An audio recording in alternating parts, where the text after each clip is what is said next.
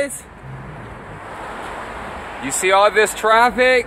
You know where I'm at. I'm not too far away from you. I could actually be at your doorstep in 15 minutes. I'm gonna get checked into this place real quick and then I'm gonna be trying to call your mama. Hopefully I can see you tonight. I love you boys. Bye. You wanna say hi to Ben and Bradley real quick? Yeah. Say it.